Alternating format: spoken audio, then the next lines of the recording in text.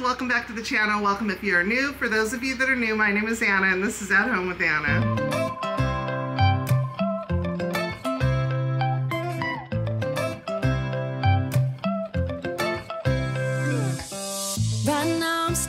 We are back out in the backyard today and I've got some beautiful plants that we're going to get into the ground.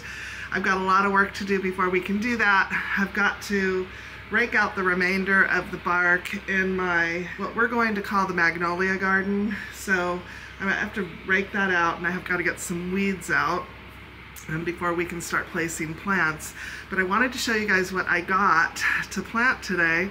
It is a very cool day today. We had storms the last two days and today I think our high is 51. so I am kind of double layered. I have a feeling I'm gonna get hot and this is gonna have to come off, but um, I'm cold right now. So, um, but I got a visor to protect me from that sun that burns your face. You know, that overcast sun that burns your face? Yeah. Um, trying to remember to put this on. I don't always remember though, but anyways, let me show you what we got and what we're going to be planting today. Okay, I got myself another butterfly bush. This one is the um, Butterfly Candy Little Grape and it is full sun, um, rebloom spring to summer, hardy in zones 5 through 10, mature size 2 to 3 feet high, 2 to 3 feet wide. Anyways, I have one of these already in my garden and it is struggling. I was, it was coming back. I'll show it to you guys in just a minute. Um, it's coming back, but it's taking forever to do what everything else is doing in the garden. So um, I was a little concerned about it. And, and I, I do realize that we are still very early in spring. It is, you know, the first week of April. We still have some time for that. But um, with the amount of sun and water and warmth and everything that this plant is getting, I just feel like it should be caught up with the rest. So um, we had a rare, I told you guys, a rare 26 degree night a couple weeks ago. And so all the little new baby growth, because I didn't protect it, um, was killed.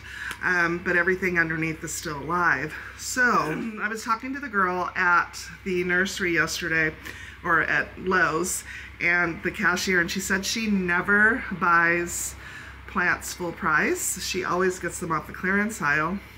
And she said she uses this for any plants that look, um, you know, weary or look like they're struggling a little bit. So she suggested that I try this on the plant and see if that helps any. So we're going to be taking care of that today. After I get the bed all cleaned out of the bark and get it all weeded, we will look at that plant cut off anything that doesn't look like it's gonna thrive. And when I'm all done planting, this is safe for everything. We're gonna go ahead and um, apply some of this fertilizer. It is um, for indoor plants, for the garden, seeds and bulbs, um, trees, uh, all, of course, all your outdoor plants, your seedlings, lawns, um, bare root and root balls. It's for everything. And she said she's bought plants off the clearance rack that just looked no bueno. And she's used this and after the you know second or third dose they're thriving and looking great. So we're gonna give it a shot. So I'm, I'm not sure where I'm placing everything that I got today because I am going to put a picture up here right here. And this is my ultimate garden that I would love to see come back every year. Um, and so that is what I'm going to be working on this year. Um, and we started off with my maple tree gardens, and then we moved over to the hydrangea beds, and now we're moving into the magnolia garden. Um, and eventually we'll make it over to the crepe myrtle garden. But right now we're working on the magnolia garden. So um, I got to get that all cleaned out, but I'm kind of pushing my way that way um, because I want to fill it up as I go. You know what I mean? Um, not that I'm gonna, everything that I got today is gonna go in one space, but I really want to concentrate on filling the garden up. So I've decided I want to get some roses and I'm just ecstatic about this year's gardening session. So um, anyways, so I got that butterfly bush and I was watching um, a garden show yesterday. And after I was done watching it, I ran out and I grabbed two of the proven winners, Rock and Round Pop Star. These are full sun, zones three to nine. Look at the picture on those. And I just thought if I had a couple of mounds of these in the garden, I would be so happy. So I picked up two of these. Anyways, I love the interest that this gives, a little florets, even without blooms. It's beautiful. Got myself some more columbine.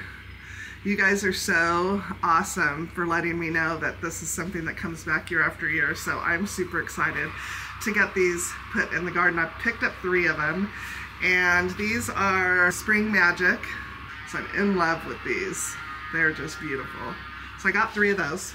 All right, the next one I got, and I think I picked up two of these, are lamb's ear. This is the big ear. And these are, these get two and a half, two to two and a half feet tall and one to three feet wide in the garden. So a beautiful forefront plant to have in the forefront of your garden which we will be picking a spot for them. There's no tags on here because I got it at the garden center. Um, their hardiness is zone 7 through 10 and they're full sun. So I told you I'm trying to find things for my garden that are full sun that are going to thrive in the sun because that is the struggle that I had last year was I was just buying what I wanted, wasn't paying a huge amount of attention to the sun. And although in the late afternoon this backyard is shaded um, by the houses over here, but that's not enough shade to keep things happy um, because they're in full sun. Eight, just nine o'clock, 8.56. I'm gonna show you um, what the garden looks like. And this is what it'll look like all day until that sun moves behind those houses. So um, you'll see what I'm talking about. But let's walk the garden and um, before we get busy because I'm excited. Okay, first off, here are the trees we planted out, and it looks like the bunnies have had a little meal with a couple of the pansies little turkeys. Um, but they look really good. The SunPatiens, this side is, there's a bunch of blooms getting ready to explode, or buds, I should say. Look at the hydrangea, you guys. Are you kidding me? Like in two days, they sprouted like this. It's amazing. This side, however, so many blooms already on the SunPatiens. They look so beautiful. So good. So this is the area that we are going to start working in. This is what we're going to be calling the Magnolia Garden, going that way to there. And then that one over there is the crepe myrtle garden, which we will be dealing with later. But I got my hands full with this one here. Um, this is the little pugster that I was telling you guys about. And there are definitely some, you know, I could take off some of this growth here. It's dead for sure. Um, and I want to give it a dose of that and see what we're dealing with, but I just think, you know, it's going to be okay, I think. I'm hoping. Oh, I could go back and look and find out what this is. I can't remember, but either way, um, it's doing really good. And it looked much like that one after we had that weird 26 degree day. So anyways, you can see we've got lots of weeding to do. Um, these are the cone flowers or corn flowers I planted in fall. and they're coming back and who am I to tell them that they can't? So I'm just gonna leave them because I think the more the merrier. We'll just have a little family reunion of plants. So got all this bark to take out. I got my bags ready and this is the crepe myrtle, which I didn't see, I don't see, I didn't see any budding on this tree at all. I'm a little concerned. However, I do now. I didn't the other day, but I do now. So I see it. Look at you guys. Do you see that? Let me see. I see budding. Do you see that? Okay, we are in good shape. Yes, okay. All right, so we'll take care of this one. This one has landscape fabric I gotta tear out. And then these are our hedges that took a real hit this past winter, but they are all leaping out again coming back to life. After I get all this bark and stuff out and put out down some good soil and fertilizer, they're just gonna take off. So anyways, we'll deal with that another, another day. We've got to deal with this whole area today, so let's get really busy. quick. I forgot to show you. I got sedum, three of them, so we're gonna be placing those too.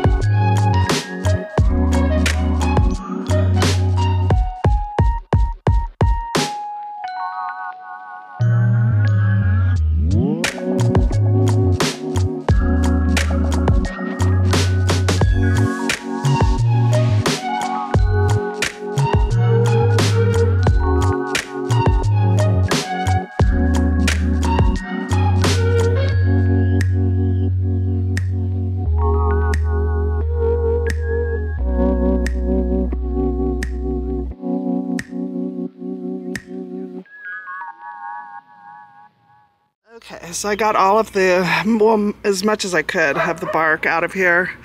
And somebody had asked me a question. Sorry for the dogs. That is just something we have to deal with living here.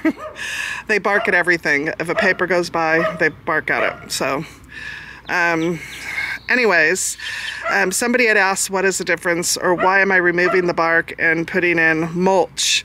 And the reason for that is because um, the mulch has more of an organic matter, which I'm trying to get as much organic matter into these gardens as possible because of the clay. And I know that everybody has offered me so many different tips and tricks on that, but um, which I will use some of those. But for right now, I'm just trying to use what I have, and I have organic matter, and that's what I'm going to be using but I wanted to get as much. I didn't do like back there because I don't think we're planting anything back there. So I'm gonna leave that. Um, I know that we're gonna be moving the planter here. Um, Ernie wants to get a cone like holly tree to go right here. Um, I think that's what he said. But anyways, so now I've got to get all these weeds out and then um, we're going to trim this little pugster here and then we're going to get to place in all of the plants.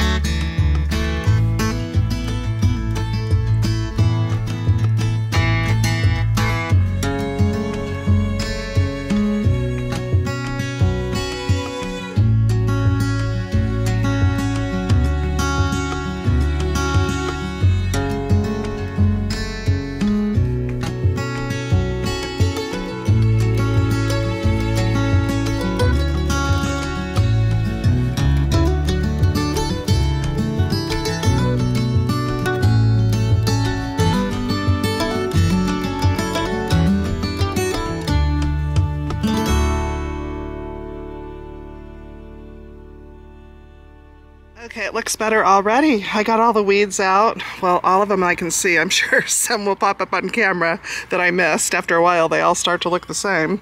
But now we've got a fresh start.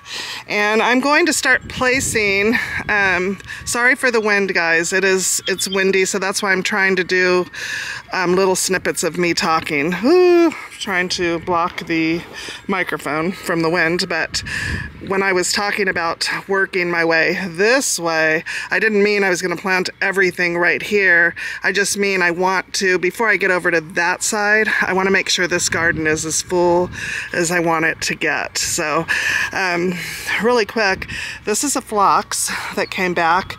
There were two more, but the bunnies ate them down to the nubs.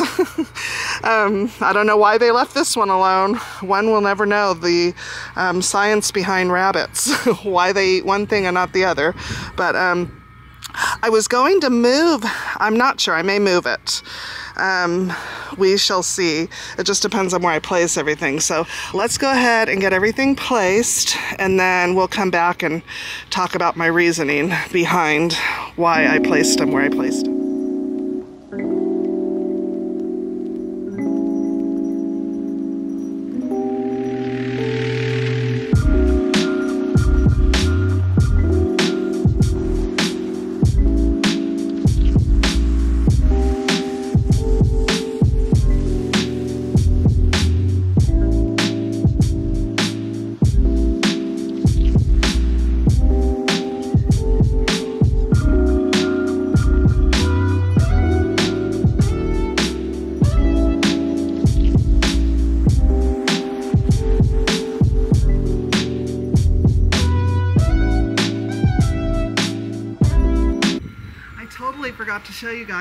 Two grasses. They were sitting on my patio, so I forgot to share them with you guys. But uh, I finally found some at the nursery that we went to. Um, she didn't know what the name of it is. She just said it was a perennial grass. So I grabbed a couple. I think I want to place them back behind the hollies up here. Just to add some whimsical I love how they blow in the wind. That pretty? I have the columbine back there just because there's a little bit of shade that happens. And like I said, Ernie wants to plant a tree right here, so they'll get some shade if needed. My hellebore needs a little bit more shade. This tree is taking forever to leaf out. Eventually, this will be a shade garden eventually, but right now it's not. I went ahead and planted, or I went ahead and placed the lamb's ear here. The reason I'm leaving the front of the bed empty is because I'm going to be planting annuals in here, probably more SunPatiens, and um, just lining the whole garden with them. So I'm concentrating from, let's see, right there back. Now, this is why, now I remember why I needed to move the phlox, because I wanted to plant these two grasses here. Now, where am I gonna move the phlox? I might put her right here, because I plan on getting more, so I'll put her in a position where I can plant a couple more behind her. Here's a butterfly bush. This will be a butterfly bush. Um, so we'll have some high-low interest, you know, throughout the garden. This will stay low. This will stay lowish. These will get big this these will get big, but we can keep those trained, so that's lovely. Um, and I love the fact that I'm going to be able to separate those if I need to. These guys get three feet. They're dwarfs, so um, so that's nice. And I haven't gotten anything for over here yet, but that's okay. The garden is going to, um, you know, develop as we move along. so I'm trying not to breathe hard. I'm just out of shape, and somebody had mentioned they were worried about me. Don't worry about me. I'm just out of shape. So when I do a lot of digging, bending, all of that stuff. I get out of breath. I'm going to be using oh, what I have left of my Plant-tone today. So we'll be putting that and I have three bags of some organic garden soil that I'll be using as well. So let's go ahead and put these guys to bed.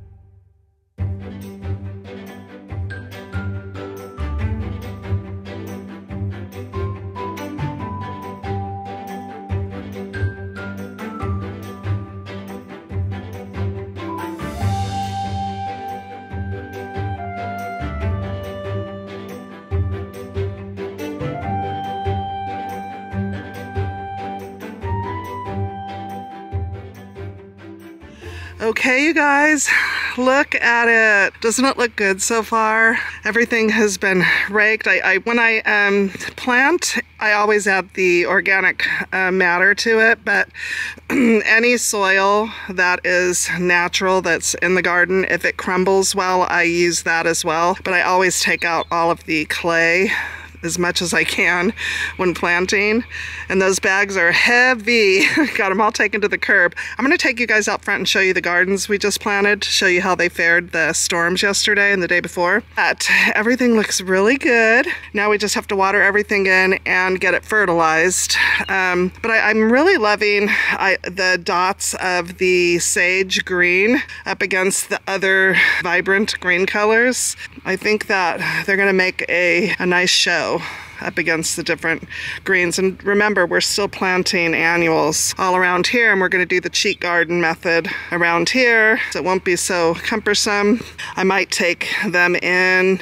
I, I want to get some supertunias and dot the garden. They are not out yet, or they haven't been out yet, so I do want to dot the garden with some supertunia vista bubblegum. I love that color. So, um, and I want to get a rose. I'm not sure where, where I'll be able to sneak a rose in here. I do want to get a rose bush. Maybe, maybe over here in this area, I'll be able to put a rose bush. I don't know, we'll see. But anyways, so far so good. Let me take you out front and show you how those gardens did. Quick pit stop here. I did move um, this daylily from over here to here, and I was worried it wasn't gonna bloom, and it's the first one putting out a bloom. now this all is filled in except for this one here. And I'm sorry, I talk with my hands. Somebody had mentioned that they get dizzy when my hand does that and my camera auto focuses, so I apologize for that. I'll try to do better. um, but anyways, now this, as soon as this one right there fills in, it'll be a nice daylily garden. These did really well. We got some torrential rain and I was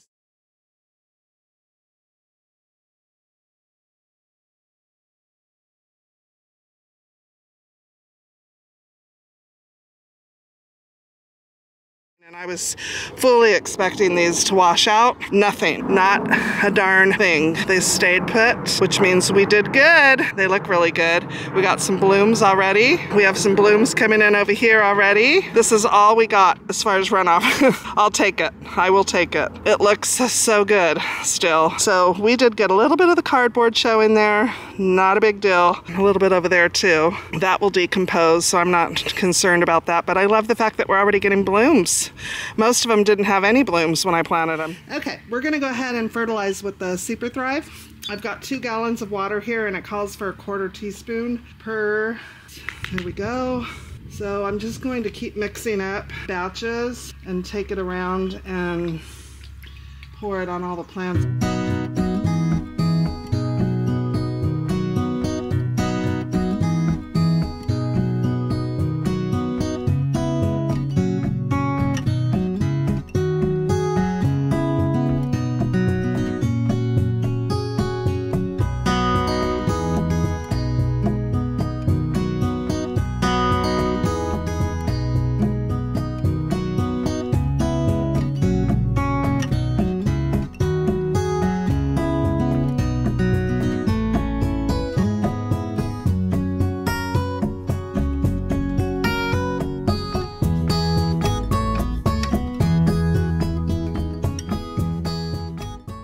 Have so much more gardening to do and I cannot wait to share it all with you guys. I want to thank you guys so much for staying till the end. I appreciate you guys more than you'll ever know. Please leave me a comment down below and let me know how you like today's video. And of course, always your advice helps with everything. And a thumbs up really helps YouTube know that you're liking my video and they will push it out to other people who enjoy this type of content. I appreciate you guys so much for staying till the end and we will see you guys in the next video. Bye-bye!